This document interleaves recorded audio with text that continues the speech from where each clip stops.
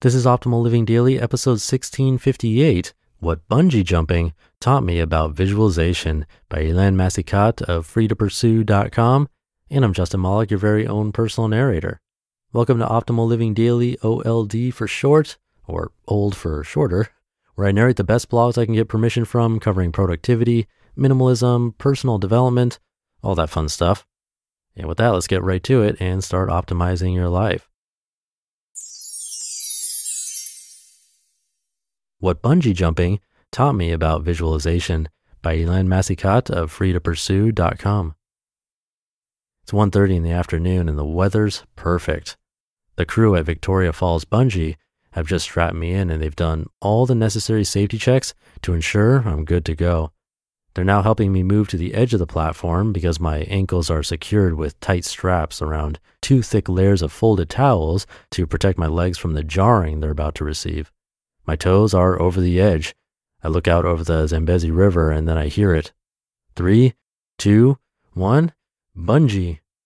I jump off the platform with a grin on my face and start screaming, woohoo! I take it all in my initial weightlessness, my rate of acceleration, the beauty of the cliffside, the rushing water below, and finally the deceleration as the bungee saves me from a much shorter life than I would like. I bounce up and down another half dozen times before the experience comes to an end.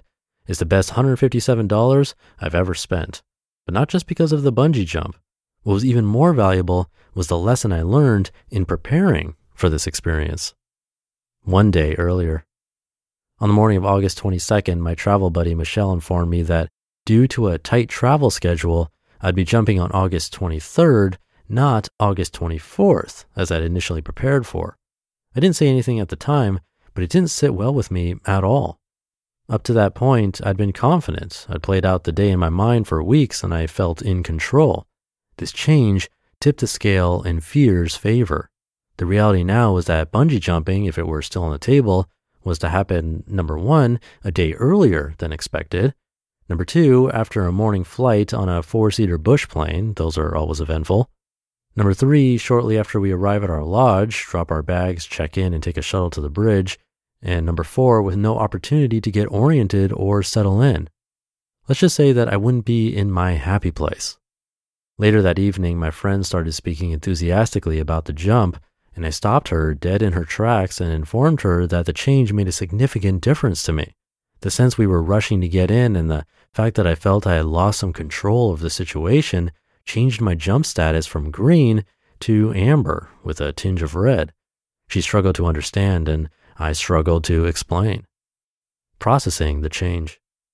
I've pulled many crazy stunts over the years, my bucket list does not lie, and bungee was far from the toughest, but I've always needed to feel that I was in control of the variables surrounding the experience, which both ensured I felt safe and that I can enjoy the moment. If anything didn't feel right, I'd always give myself permission to walk away guilt free.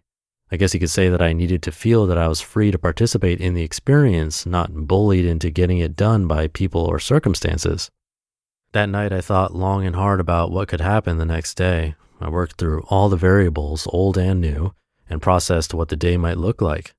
I thought about the transportation to the new lodge, what clothes I would wear, the bus ride to the bridge, getting a bridge pass at customs. The Zambezi is the natural border between Zimbabwe and Zambia. Paying for the jump, and finally getting the gear on and everything involved in the jump itself the sights, the smells, the feel of the wind on my skin, the feeling of the harness, my heart rate. That thought process took the better part of an hour before falling asleep and an hour lying in bed the following morning. That mental preparation made the difference. There was a calmness about me that morning, and thankfully, Michelle did not bring up the jump. Indeed, her understanding of my need to decide on my own terms may have made the difference. Getting it done. Once at the Victoria Falls Safari Lodge, I changed into my jumping clothes, still wavering, but getting more comfortable with the idea. Once we had our room keys, I knew that I'd be on that bus. The feeling solidified once on the bridge. Everything felt as it should be. It was almost like deja vu. I got to the counter, asked the questions I'd planned to ask, paid, and ended up with a number written on my forearm. I was jumper 6427. This was really happening. I felt relaxed. I'd made the right decision thanks to reframing the experience. From then on, it was pure joy. I was excited, looking forward to it, and most importantly, not scared. I watched five jumpers before me, listened to instructions, and focused on taking in everything about the experience.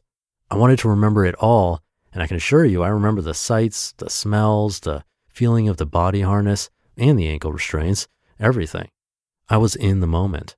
I'd even say that time slowed for me, enabling me to process it all. The power of visualization. I always knew I had a process when confronted with a new experience, but I never comprehended the power of that process until I had to work through a do over of that preparation.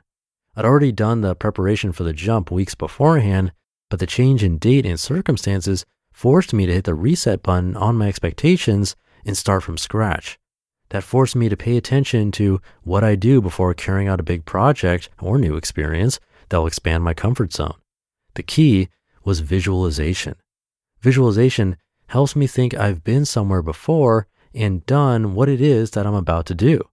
I never before appreciated the full power of this process. If anything, going forward, I'll use this mental tool more often and more thoroughly given the positive experiences that result. With practice, I may even be able to get comfortable more quickly and with less effort.